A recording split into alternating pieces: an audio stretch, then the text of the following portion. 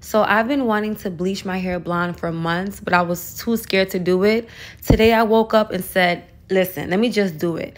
Anyways, why didn't no one tell me that when you bleach your hair, it literally burns. Like if you see my eyes squinting, that's I'm I was trying to prevent myself from crying, okay?